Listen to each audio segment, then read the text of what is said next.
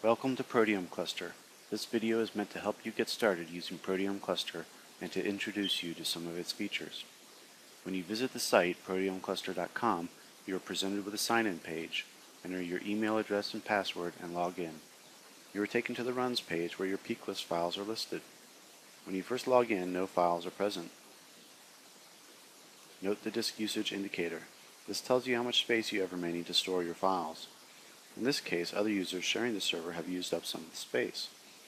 When you sign up for Proteome Cluster, you are given your own dedicated server with this space suited to your usage.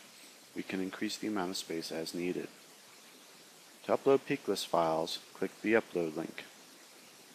On the Upload page, click Browse Files and select the peak list files to upload. Once the list is populated, you can remove selected files that you did not mean to include, or you can clear the entire list. To start uploading, click Start Upload. Be sure not to leave this page while your files are uploading.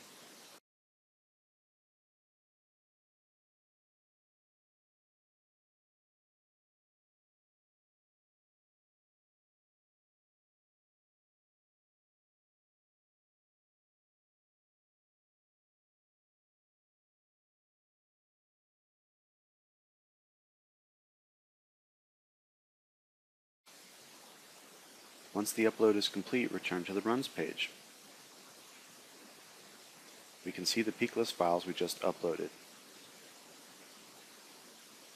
To launch a cluster, select a run, select your search parameters from the pull-down list, and select the number of nodes in the cluster.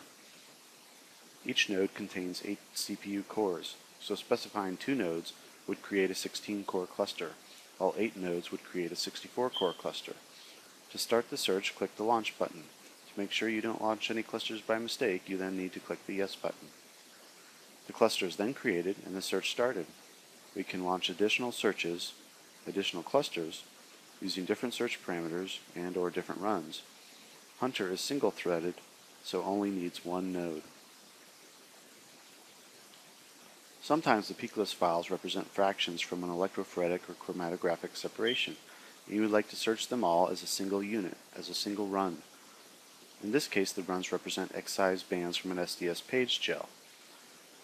To search all six runs, simply select the check boxes next to each, then select your search parameters. We'll use 8 nodes to create a 64-core cluster and launch. To monitor the searches, click the Searches link. Active and completed searches are listed. Note the search status column. Search time is shown and CPU time will be displayed upon completion of the search. Searches can be canceled by clicking the X.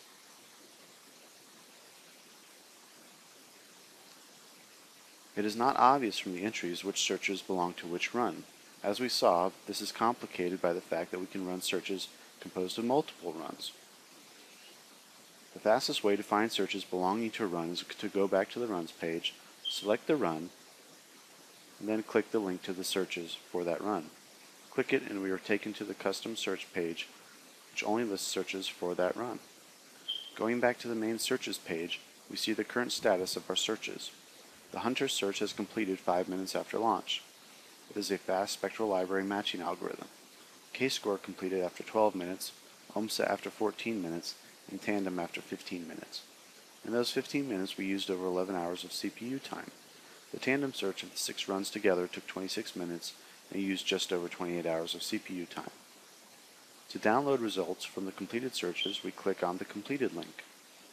To view details of the search, click the search number.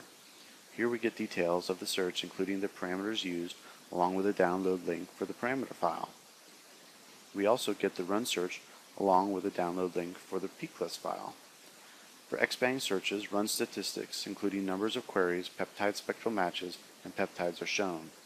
For all searches, the CPU time and search time are displayed.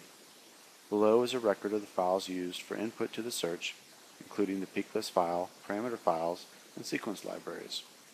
Opposite is a record of the nodes which compose the cluster.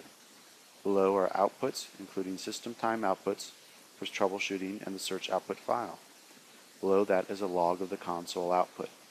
For XBang files, we can view the output on the local GPM server. This is the standard GPM interface.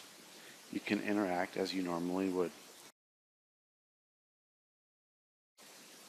Select a protein to see sequence coverage and peptide hits.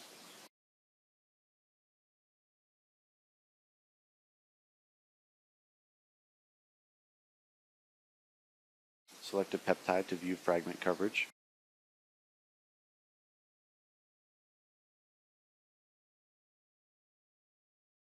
There are no online viewers for OMSSA search outputs. Download these and use the OMSSA browser to view them.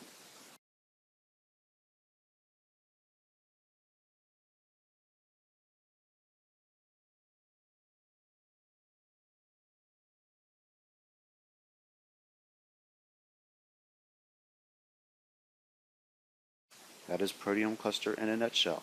Thank you for watching, and we hope that Proteome Cluster makes managing and searching proteomic data a bit easier.